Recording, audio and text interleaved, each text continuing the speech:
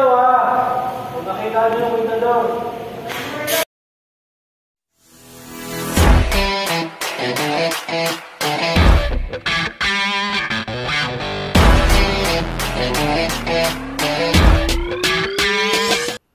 Ah, hello guys, welcome po ulit especially sa mga newbies sa Airsoft dyan. Ngayon guys, na katatapos na natin maglaro dito sa kabubukas lang na indoor CQB game site.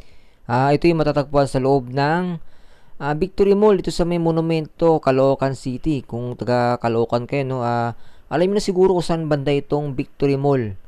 Al, sa mga taga norte dyan, ah, siguro pamilyar na kayo sa lugar na ito. Doon naman sa mga hindi pamilyar, no, ah, wasteable naman to lugar na to. Uh, type nyo na sa Wish yung Victory Mall. Uh, alam nyo na siguro, lalabas na yan.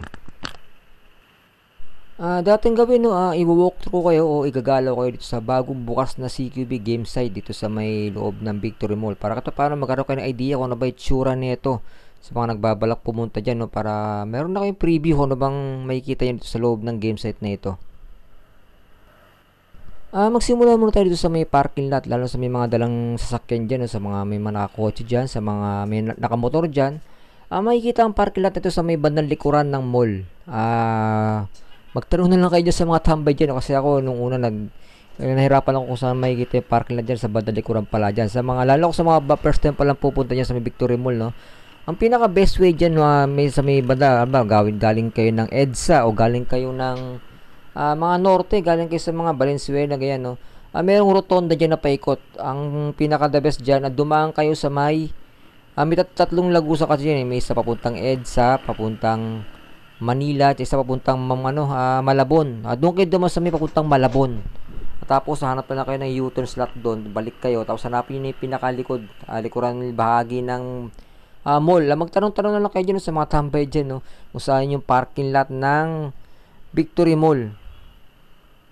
Ah, uh, doon naman sa mga nagtitipid sa mga parking fee diyan, no. Ah, uh, doon kayo mag doon kayo pumarada sa pinakadulo kasi pagpapasok pagbasok niyo sa may ano sa may likurang bahagi ng mall, uh, may nakabunga doon na parking lot. Uh, wag kayo mag wag kayo magpa-park doon kasi doon ang bayad doon is 25 pesos pero 3 hours lang tapos every succeeding hour uh, plus 10 pesos. Kaya kung maga kayo pupunta diyan, mga sobra kayong excited diyan, alas 9 nandiyan na kayo sa mall. Uh, good luck no, sigurado malaki babayaran yung parking fee. Uh, mas maganda doon kayo mag-park sa pinakadulo, diretso pa kayo no sa may halos tapat na ng entrance sa may bandang likuran. Ayan, ayan po yung tsura ng parking nila. Ayan po yung tsura ng parking space nila dyan. Uh, flat rate siya na, flat, sabi? Uh, flat rate po sila dyan. Uh, nasa 20, kalimutan ko, 20 pesos o 25 pesos o 30. Basta ganun. Basta 30 pesos pa ba? Yun, yun ang presyo na. Basta flat rate ang, ano dyan, ang bayad ng parking fee nila dyan. Uh, huwag kayo paparado sa una, no? Sa una kasi hindi sa flat rate. Kaya dun sa mga nagtitipid sa mga parking fee dyan, no. Ah, dun sa mga nagbabalak pumunta rito, no, ah, pwede naman ng walk-in dito. Kaya lang, bago kayo pumunta rito, doon yung makipag-coordinate muna kayo sa admin ng game site na ito. Kasi bago kayo pumunta rito, meron silang binibigay na parang passcode o parang gate pass may isasend sa messenger nyo, tapos yun ipapakita nyo sa guard.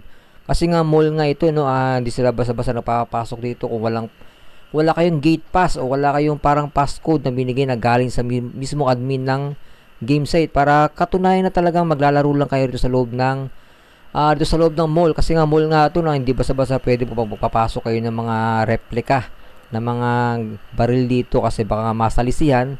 Kasi baka may gumahaya rito no may mga masamang loob dyan. Sasabi baka mag sabi niya maglalaro lang. Ito yung pala hindi mga hold up pala sa loob ng mall no? parang ganun.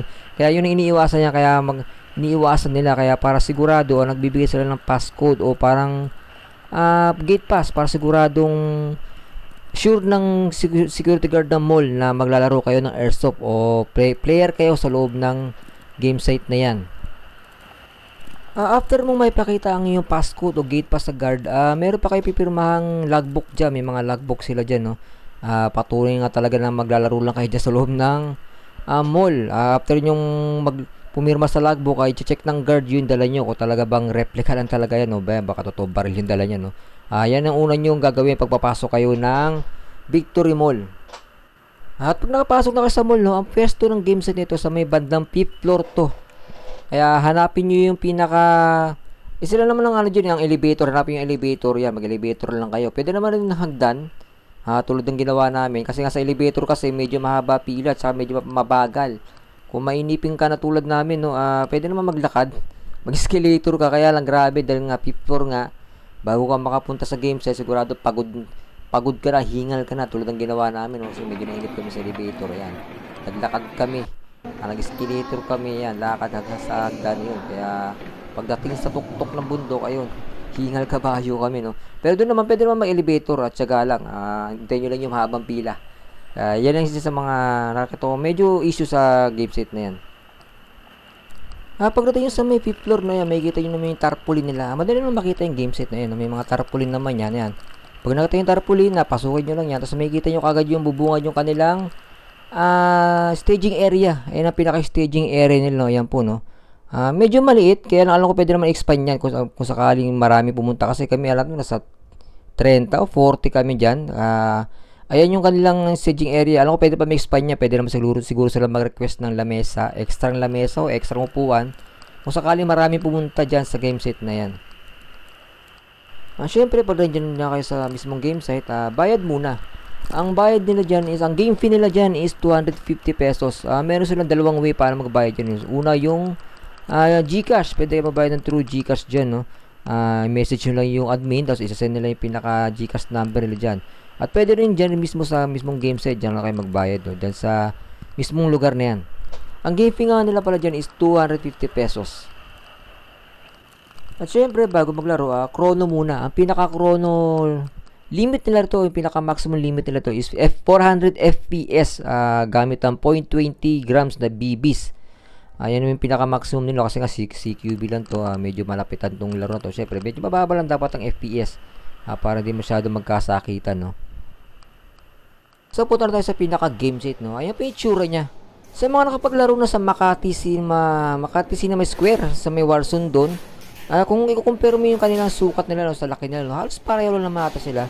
Ang ito nga lang ano, ano dito sa may Victory Mall, ah, medyo malapad nga lang compare sa Makati, no. Kaya sa Makati naman, medyo mas mahaba siya ng konti. Eh, yun lang ang yun lang pagkakaiba nila sa sukat pero kung pagsusumahin parang halos pareho lang yung kanilang sukat, no. Uh, medyo dark mode ang setup ng game set na yun. Kumbaga, medyo madilim ang setup nila dyan. Kung makikita nyo yun, no? uh, medyo madilim po dyan. Sa bandang likod po yan. Ang uh, medyo maliwanag lang sa may bandang bungad, no? May, may mga ilaw dun eh. Pwede sa may bandang likod, uh, although may ilaw rin, pero konti lang. Kaya makikita nyo na yun, no? Medyo madilim po siya dyan sa lugar na yan. Kaya kailangan kung maglalaro kayo mas advantage yan kung meron kayo mga tack light dyan, no? O kaya tracer. Uh, mas may enjoy nyo maglaro dyan. Uh, yung nakita nyo yun sa video niya, nasa bandang likuran po yan, no? uh, medyo madilim po dyan. Uh, tapos sa gitna naman, na naka dyan, nakapwesto naman yung kanilang tatlong kill house. Uh, yung tsura ng kill house nila, no? May isa may gitna, uh, meron sa may gilid, sa may bandang left side, ayun, sa gitna. Yan po yung pinaka kill house nila.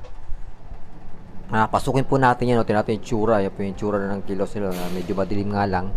Uh, pagpasesa nyo ng aking video, no? Medyo medyo malabo kasi medyo madilim eh kaya hindi masyado makita. Ah, ito naman sa may bandang part na to ito yung sa may bandang harapan to no sa may pagpasok po ng pintuan na yung pinakabubungad sa inyo yan. Ah dyan, dyan sa may harapan na yan yan dyan yung medyo may maliwanag na bahagi kasi dyan maraming ilaw dyan no. Ah yan po yung medyo maliwanag po yung part na yan yan sa may harapan. Kasi sa bandang likuran yung nakikita sa kanya yung medyo madilim na sa may likuran. Ah, dyan lang po yung may mailaw dyan po sa may harapan na yan uh, bali pinakita ko sa inyo yung harap sa kalikuran bahagi nitong game set to. Ngayon, ito naman yung kanya pinaka left side tsaka right side ay tsura nitong game set. Eh, yung, yung, yung sa left side no, yung tsura yan, no. May mga, mga nakabalandra mga lamesa diyan yung tsura niyan.